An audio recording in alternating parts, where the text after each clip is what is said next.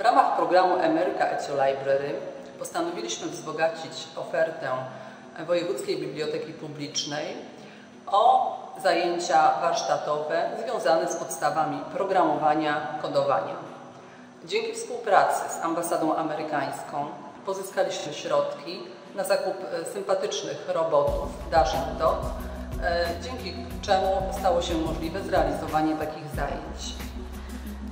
Podczas naszych warsztatów z dzieciakami będziemy się zajmować właśnie podstawami programowania, tak zwanym kodowaniem.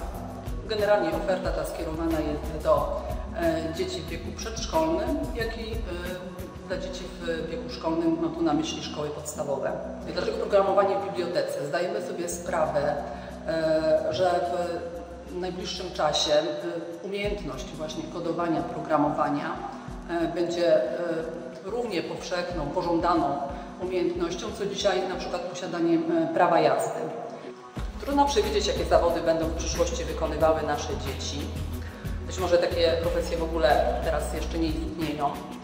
E, Jednak zauważamy jedną taką stałą tendencję e, w ostatnich dekadach, jaką jest coraz większe wykorzystanie technologii cyfrowych.